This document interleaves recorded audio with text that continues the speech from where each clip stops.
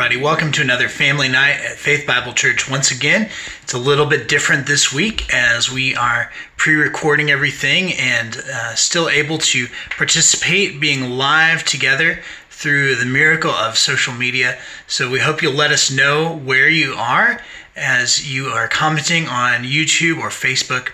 Here in just a moment, we're going to be singing together. We've got a scripture song to learn. We're going to see some special guests telling us about some things coming up for kids in the next couple weeks. We've got a lesson from God's Word and some time answering questions that you all have asked in previous weeks. We hope that you'll continue to ask questions and to interact in the comments section. But let's worship the Lord together now.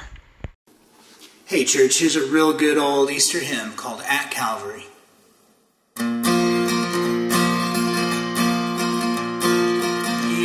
Years I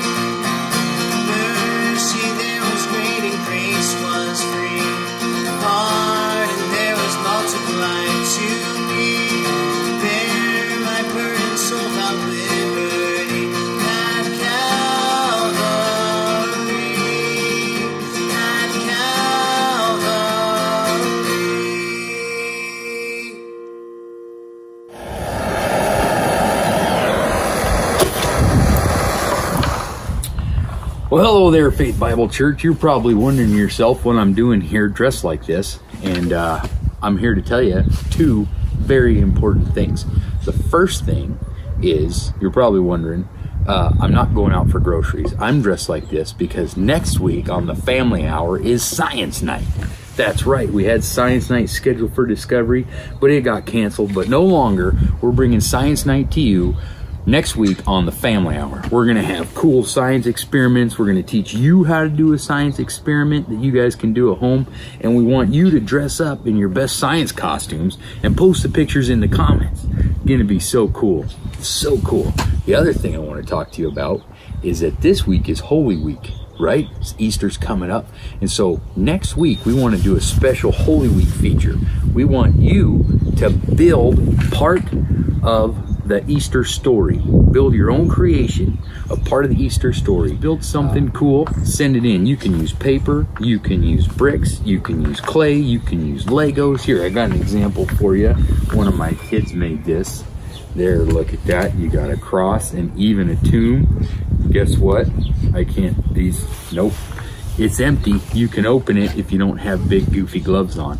But that's beside the point. So, build something cool, take a picture of it, send it to John Gardner at jgardner at fbchurch.org, and we'll see it in uh, in the video next week. And don't forget, dress up for Science Night. What's up, everyone? Welcome to Family Hour. Say hi. Say hi. All right, so tonight we're gonna do a little review. We're gonna practice a song that we've done way at the beginning, not of this year, but of last year. Matthew 7 24 through 25. Now, some of you may know this as the Wise Man on a Rock song. So, this was, like, remember, this was the very first song we ever practiced. Right, buddy? Yeah. Yeah. Yeah. So, we're going to explain the motions just in case you forgot. I personally haven't. This was my, one of my favorite songs to do. So, we're going to do that right now. My little assistant here is to help me. So, what we're to do is the first motion. Remember, your parents might need a little encouragement, so don't be afraid to show them how to do it. What's the first motion is to be therefore everyone who hears these words, make a book of mine, these words of mine, and puts them into practice. Okay, let's try that one more time. Therefore, everyone who hears these words of mine, these words of mine, and puts them into practice is like a wise man. We'll do that a couple times. Like he says, like a wise man is like a wise man who builds his house on the rock. And then we'll do a little dance party. Huh? Yeah. We'll do a little dance party and then we'll do that again. But then there's a second part. And goes, the rains came down, the streams rose, and the winds blew and beat against that house, yet it did not fall, yet it did not fall, yet it did not fall all. And it again, one more time. The rains came down, the streams rose, and the winds blew and beat against that house. Yet it did not fall, yet it did not fall, yet it did not fall all, because he built his foundation on the rock. All right? I think you guys got it. I'm sure you remember it by now. Let's go ahead and do this. Let's go.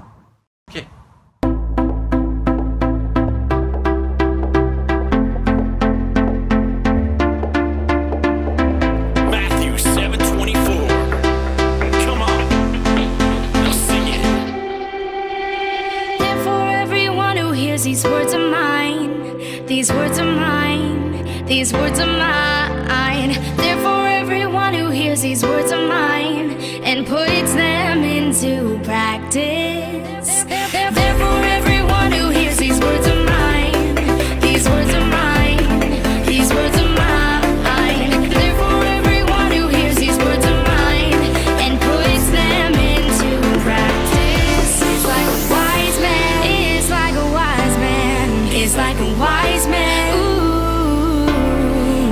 A wise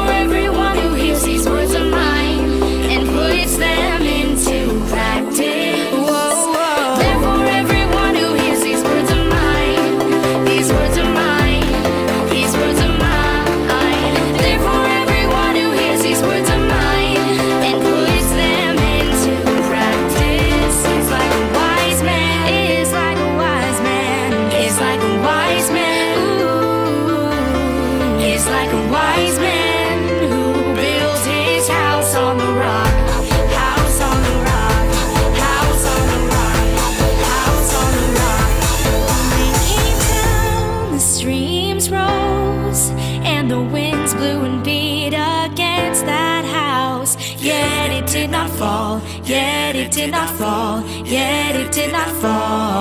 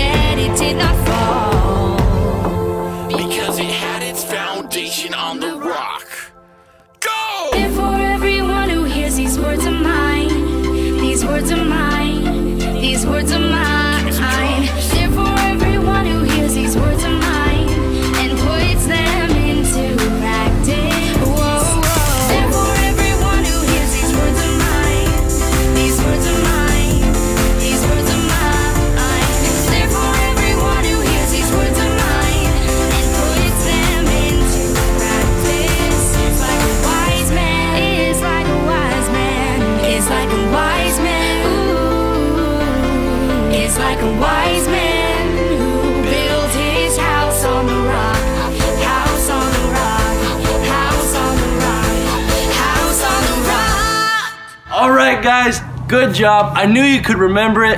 Thanks for having fun with me. We'll see you later, okay?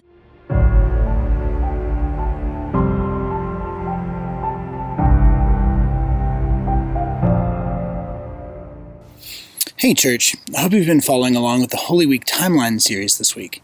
If not, you can find all the previous entries on our website, and I encourage you to check those out. But for now, let me catch you up on where we are as we walk through the week leading up to Christ's death, burial, and resurrection. On Sunday night, Dan Dean shared with us about the triumphal entry on Palm Sunday as the crowds welcomed Jesus to Jerusalem. But he showed us that though they worshipped him that day, they didn't really understand who he was. And he challenged us to think about this question Who is Jesus to you? On Monday, Jared Milliken spoke of Jesus' anger that the temple, which was supposed to be a place of worship, had become a house of corruption, where greedy merchants took advantage of the poor and the pious. In his righteous anger, Jesus drove out of the temple all those who had turned a house of prayer into a den of thieves. Surrounding the biblical account of the cleansing of the temple is the story of a barren fig tree which Jesus cursed, as Jared taught us last night. This fig tree was symbolic of the Jewish people, and especially of their leaders, whose holiness had withered away to nothing. They had the scriptures, but they didn't understand or obey them, and they bore no fruit. So Jesus spent much of Tuesday in a confrontation with the religious leaders, calling them hypocrites who were completely rotten. Jared left us last night with the question where are the genuine worshippers? Jesus had been to the temple in the holy city. He'd been to the spiritual leaders of God's people. He'd even been cheered by massive crowds of people coming to celebrate Passover. Yet in none of these places had he found genuine worshippers. Which brings us to Wednesday. It's interesting that with three such eventful days in a row, Scripture tells us almost nothing about how Jesus spent this day, the day before the Passover. As Dan and Jared have both mentioned, Jesus knew he was going to die. He knew that this day would be his last full day of freedom, the last restful night that he would spend before his arrest, trial, and execution. If you knew you had one day left to live, how would you spend it? Some of us might spend it worrying about what was coming. Would it hurt to die? And will there really be life after death? Some might spend it partying, trying to squeeze the maximum enjoyment out of life, which is how the Bible describes the outlook of those who believe this life is all there is eat, drink, and be merry, for tomorrow we die.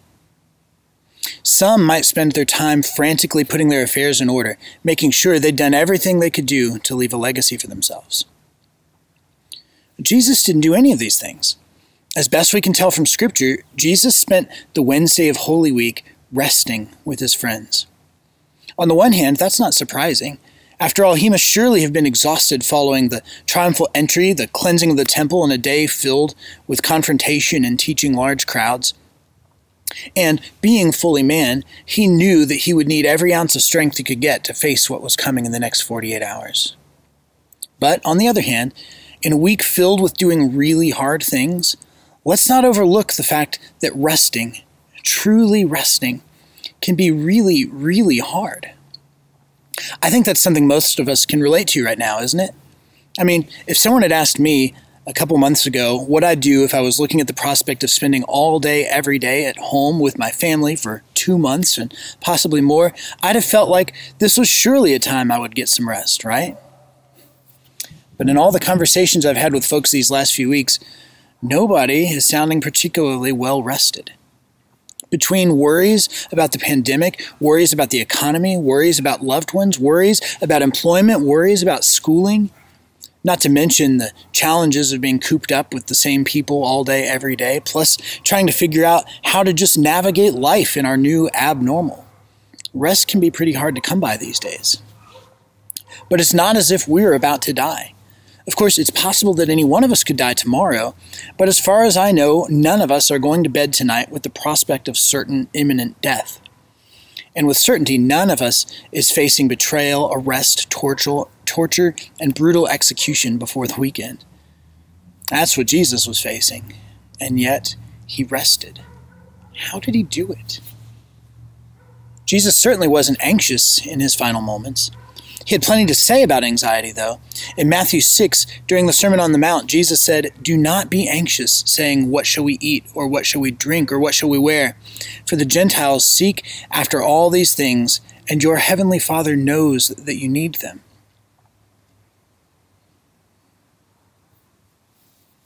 Seek first the kingdom of God and his righteousness, and all these things will be added to you.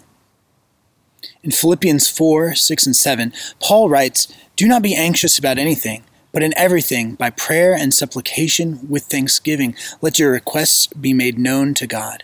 And the peace of God, which surpasses all understanding, will guard your hearts and your minds in Christ Jesus. Jesus was able to rest because he had a peace beyond all understanding, a peace that came from total reliance upon and trust in the Father.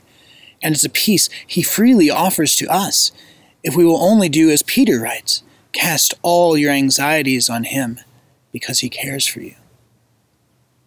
Jesus also didn't have any need to spend his final full day of freedom out pursuing worldly pleasures. He knew the eternal pleasures that awaited him in heaven. So often, we allow our desires for pleasure or amusement to rob us of rest, rather than holding out for the good stuff that's coming. And there was no need for Jesus to spend this time busying himself with work. He had no final preparations to make because his entire life had been one of devotion to the work the Father had given him. He didn't leave any unfinished business, which is why on the cross he was able to cry out, It is finished. It may seem at times like our work is never finished. But even when we have a load which seems unbearable, Jesus says, Come to me, all who labor and are heavy laden, and I will give you rest. Take my yoke upon you and learn from me, for I am gentle and lowly in heart, and you will find rest for your souls. For my yoke is easy and my burden is light. I hope we can all learn from Jesus to rest. We can cast our anxieties on Him. We can place our hope and our trust in Him. We can bring our heavy burdens to Him, and we can find our rest in Him. I pray that whatever you may be facing this week, you will turn to Christ and seek the rest and the peace that He offers. To help you with that, I also want to encourage you to sing this week's Family Worship Hymn of the Week. It's one we sang together for the first time this past Sunday, called Christ is Mine Forevermore. This hymn speaks to a lot of these issues we've just been looking at. From the opening line, which reminds us that our days are numbered, to our temptation to pursue worldly pleasure. But there's also great hope in these lyrics as we're reminded that our God supplies our every need. He will strengthen us and sustain us through every battle and will deliver us safely home where we will walk side by side with the King of Kings, who is our greatest treasure. But it's the second verse that Laurie and I keep coming back to during this particularly trying season. Hear these lyrics before we sing them. Mine are tears in times of sorrow, darkness not yet understood. Through the valley I must travel, though I see no earthly good. But mine is peace that flows from heaven and the strength in times of need. I know my pain will not be wasted. Christ completes his work in me. Amen. Let's sing this together.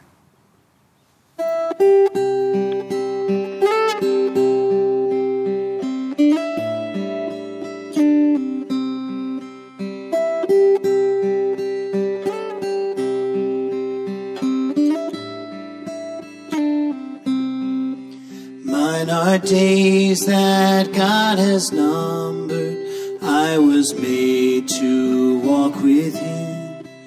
Yet I look for worldly treasure and forsake the King of Kings. But mine is hope in my Redeemer. Though I fall, His love is sure. For Christ has paid for every failing. I am His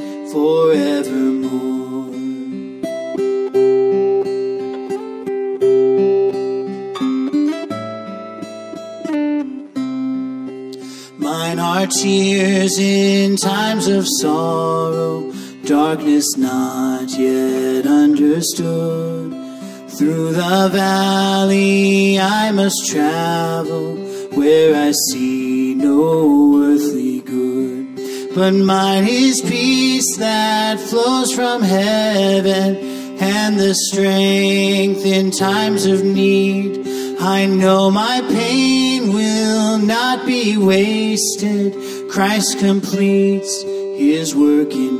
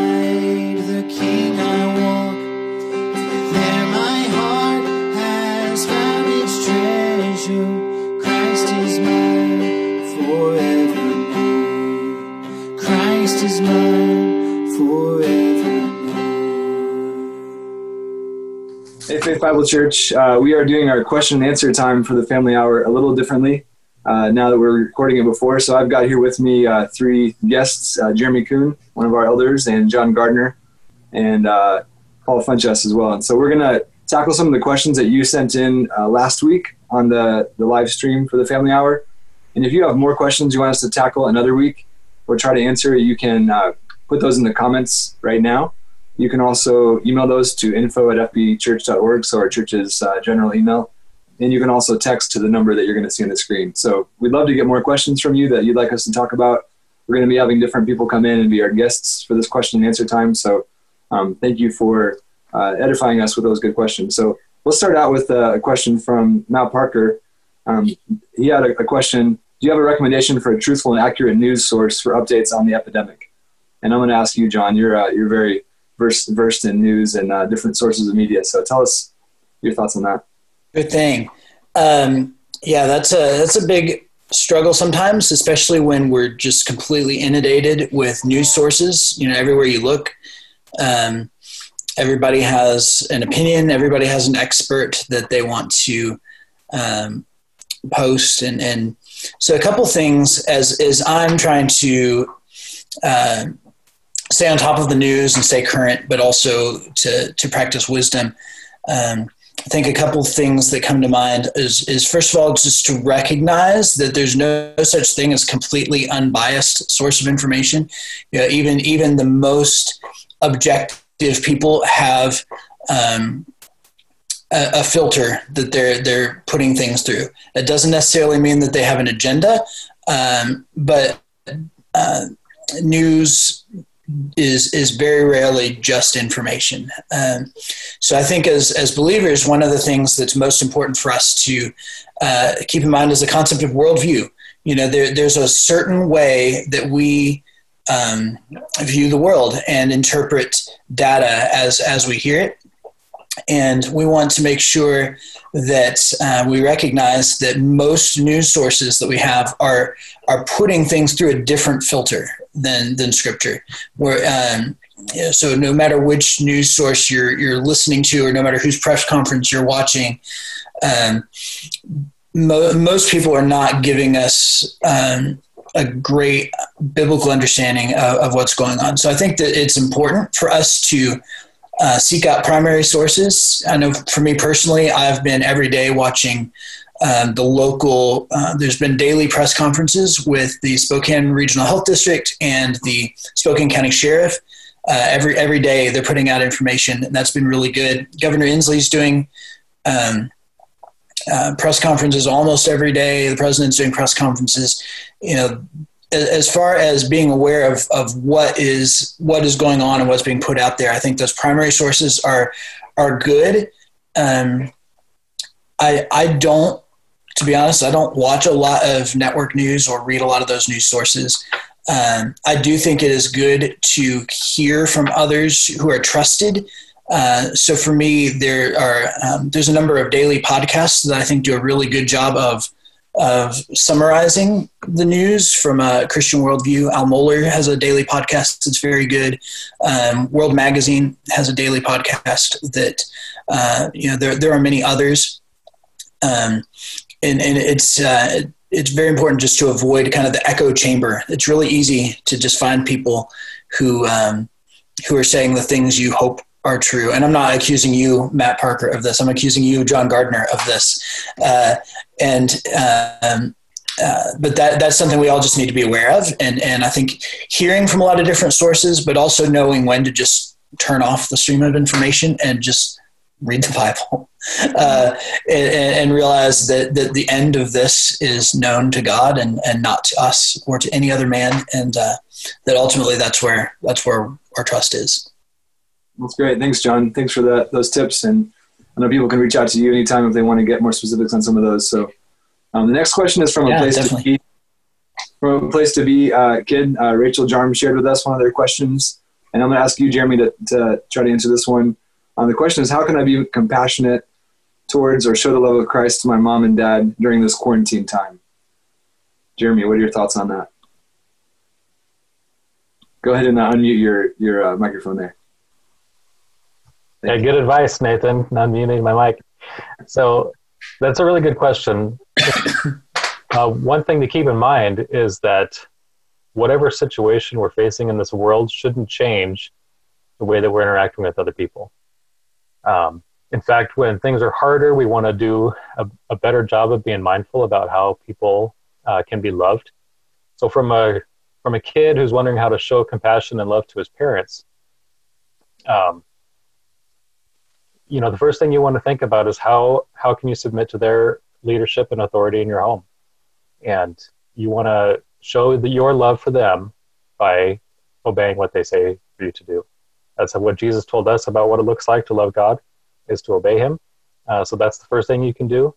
I think another thing right now with the situation that we're in is that there are, are changes that we've had to face as far as how we're getting together with friends. Um, so it can be hard if you're asking to do things that you've been told we can't really do this that way anymore. Because um, it's just something that, that us as parents are still having to wrestle with of how we can get together with friends if that's possible. Um, and what that what that looks like. So be patient with your parents um, as even they are still trying to figure out how to handle some things. Um,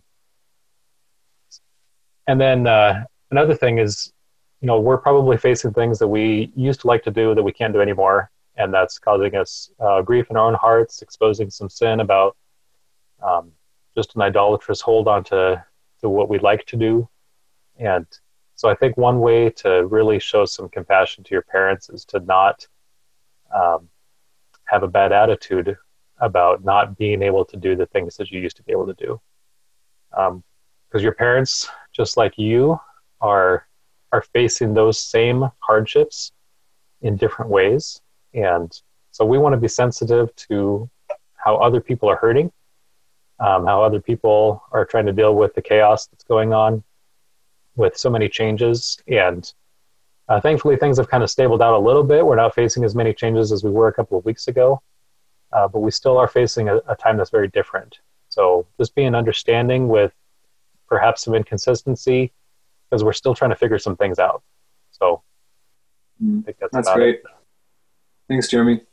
Yeah, kids, we want to encourage you to keep praying for your kids if you're trusting and praying for your parents. It's another way to have compassion on them. And I'm sure we could say a lot more about that, but um, you might even ask your parents how you can have compassion on them uh, let's let's go to a question from Logan Long.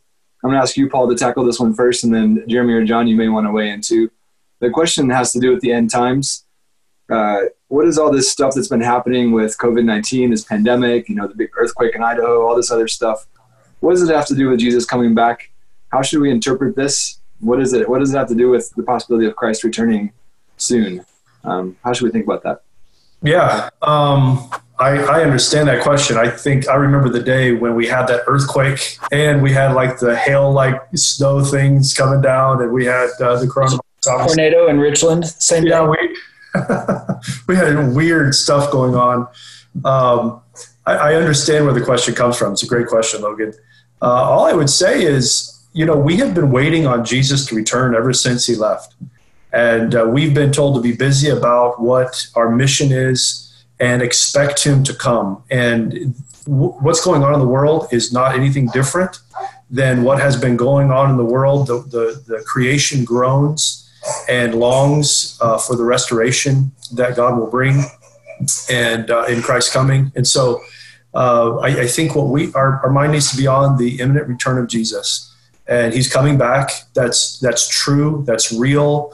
Uh, you you you need to to embrace that and if anything, I think it teaches us that uh, it kind of kind of prompts us to an urgency maybe that we didn't have before.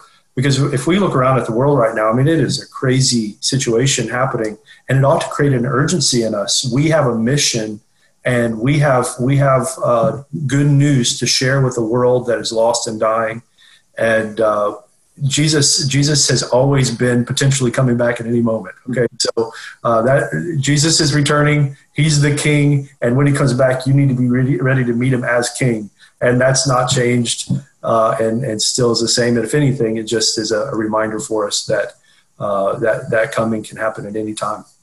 Mm, that's great. Thanks, Paul. Yeah, it really is like those birth pains, like Jesus talked about in Matthew 24. Yeah. And you never know when the last birth pain is going to happen. You know, they're all pointing to the reality that is coming back. So, Jeremy or John, did you want to add anything to that? Jesus is coming back. Be ready. There's a song about that. We could sing that song.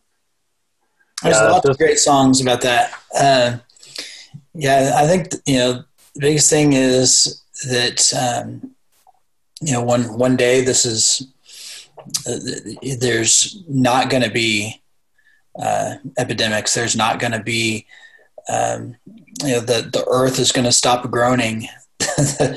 The, the curse will be broken. There's no more sickness no more death. That's you know that's where i uh, hang my hat at the end of the day is is this is this is what we have to look forward to and you know even even when we have days that are really really great and there's not an epidemic going on and there's not uh, weather things. There's, you know, a good economy. The best day on earth is nothing compared to, to what's coming. Amen. Yeah. Yeah. And I would just echo what's already been said.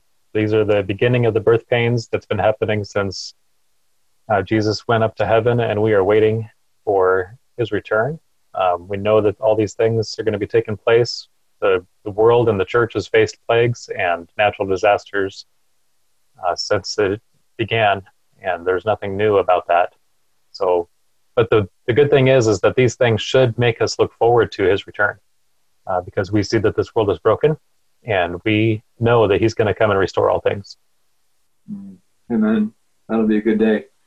Uh, then this next book has to do with uh, what has been one of the most foundational books that you've read that have impacted your walk with God. Jessica Horning is asking, and I'm sure many of the people listening are are reading more books these days, perhaps. So, John, why don't you start us off? You're quite the avid reader. Tell us uh, an impactful book, or even maybe a, a way we can find a list of other books we could read. Yeah, goodness. Um, asking me for book recommendations a little dangerous. Um, but uh, if I, you know, the, the question was what's been a foundational book there. There was a, a man when I was in college who discipled me and the first book that he put in my hands um, was called Don't Waste Your Life by John Piper. And so f- for me personally, that was, that was definitely foundational in, in the sense of, um, that's the first book that I read that was substantial from a, um just not just a doctrinal standpoint, but just a what you know what are you doing with your life? It wasn't a question that I'd really considered, um, so that whetted my appetite to want to read more.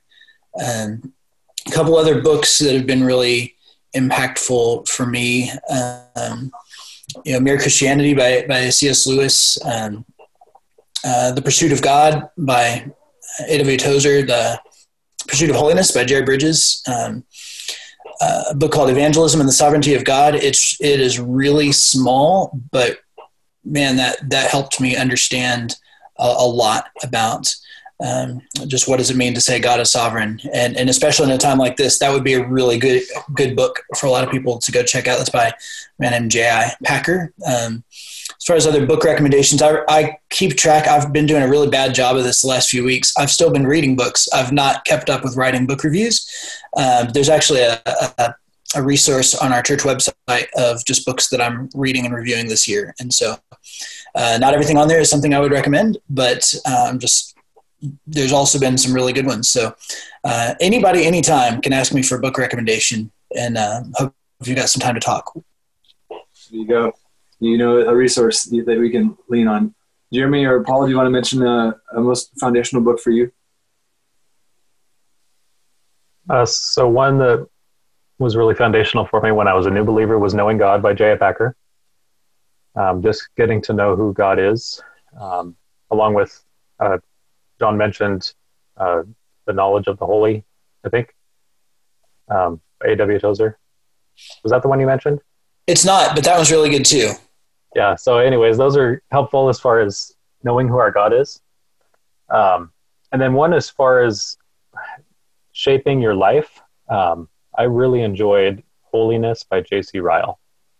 Uh, it's an older book. It was written, I think, at the end of the 18th century, beginning of the 19th century, um, or maybe the 19th to 20th.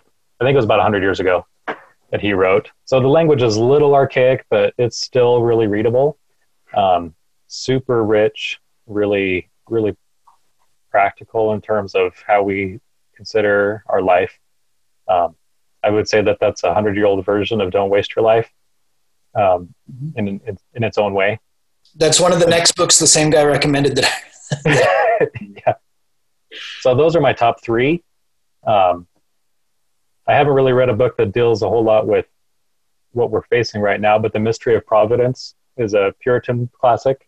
Um, and it's been a while since I've read that one, but it really gives you a good idea um, about how people think about how God is working in the world um, that we've kind of lost touch with in our day and age, where we have a lot of naturalism going on and just see that you know natural disasters as natural and nothing, nothing behind, uh, nothing behind the scenes as far as God is concerned. So that was a that's probably a good one to look at too. I think Great. John, I can't remember the author. It's a Puritan paperback, The Mystery of Providence. yeah, it's, it's either John or Richard Yeah, that takes care of most of them. yeah. We are almost almost out of I, I should also point out. Go ahead, John. Sorry, um, I realized I mostly just said theology books. I actually read a lot more literature than theology, and as far as shaping worldview, um, I think we're people who are shaped by stories. So uh, theology is good. Stories are also good. Mm, amen. Most of the Bible is stories, so it's uh, something that God's used. Yeah. He didn't use. Let's let's wrap it up with with uh, one last question. Um, I'm going to ask you to answer this one, Paul. This is from Jay Wiley. Uh, why did Jesus pray for people's forgiveness? when he already knew who would be forgiven. So thinking about Jesus on the cross, this is uh, Holy Week, and we're thinking about that a lot. Um, so, how would you answer that question, Paul? Um, yeah, so in the the narrative there, uh, when Jesus asked the Father to forgive them, for they know not what they do, I think the point of that is to demonstrate um, the willingness and the desire to forgive sinners, even those sinners that would crucify Christ. All all of us, all of us. Uh, participate in the crucifixion of Jesus. We all were the ones. Our sins are what put Jesus there and and it just shows Jesus' willingness to forgive sinners, those who oppose him. Um, so when when you ask the question, how's he pray for forgiveness even though he knows, or why does he pray for forgiveness even though he knows who he's going to forgive? Again, the narrative is demonstrating Christ's willingness to forgive, his desire to forgive.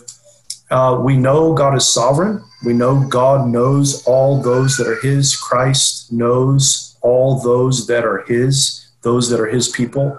But the sovereignty of God does not cancel out the need to pray and God's uh, ordination of that means uh, to accomplish his will and purpose. So, uh, and th- this is a big question because God is sovereign, so why pray? God is sovereign, so why evangelize? He knows who's going to be saved, so why pray? Why evangelize? Well, because God has ordained those as means to carry out his will. And so uh, we we see a good demonstration of that where Jesus he he asks the Father, he prays to the Father, Father forgive them, and even though Jesus knows who's going to be forgiven and who's who's not ultimately going to be forgiven, uh, we see our need to pray even for what is the Lord's will because that's the, that's the means that He has ordained. And so we participate with God in what God is doing when we pray, when we evangelize, and we should take all of our prayers to Him and obey him in that and also evangelize. Even though he knows who's going to be saved he has chosen the means uh, to, to, accomplish his will by us telling and sharing that good news. So uh, sovereignty is a wonderful foundation to prayer and a wonderful foundation to evangelism. Um, i really i don't really don't know how you pray or how you evangelize if you don't have a, a, firm uh, belief in the sovereignty of god I don't know if I answered your question there, but I think I did somewhere. well, you can talk to Jay Wiley if you if you haven't answered it. He'll uh, he'll ask you again. But uh, I'm going to just take that as a segue to encourage all of us to be praying. Uh, we're in a, a, period of 28 days where, as a church, we really want to commit to prayer and fasting. Um, so every day we want to be praying for the growth of our other fellow believers, the salvation of lost people, and God's mercy on our whole world in this, in this pandemic. So I encourage you to be praying for that and uh, take time to really seek the Lord uh, and, and, pray. It's, it's, such a privilege we have to be before our Father and talk to Him. So, thank you for your questions you sent in. I hope you send in more questions. We'll have another Q and A next week. Um, we care about you and want to know how we can be praying for you and, and shepherding you. So please let us know. Um, thank you, Faith Bible Church. Thanks. Does somebody want to pray? Oh yeah, yeah. Before we uh, we're going to pray. Paul, you want to pray? Sure. Let's pray. All right. Lord, we are thankful for who you are. You are sovereign. Every square inch of the universe, you are over and you control. Uh, nothing that is happening uh, has caught you by surprise. And we can be confident in you, we can be comforted in you. And uh, we believe that uh, you are orchestrating all things for your glory. I pray for every family uh, this week. I pray that they would have a strong hold on your care for them, that as we've heard recently, they would cast all of their cares upon you uh, because you do care for them, and uh, that they would humble themselves under your mighty hand. And so we we ask, uh, Lord, for your direction. Help us to be compassionate. Show us opportunities to be compassionate on those who need, and uh, give us opportunity, uh, even in our families, to speak the gospel and I pray that you would uh, produce in us fruit of righteousness this week. And we thank you. Thank you for letting us be your people. And we praise you. In your name we pray. Amen. Amen. Amen. Thanks, Jeremy Kuhn and John Gardner and Paul Funches. Yeah, yeah thank you. Good morning, guys. See you. Bye. Bye. Good night.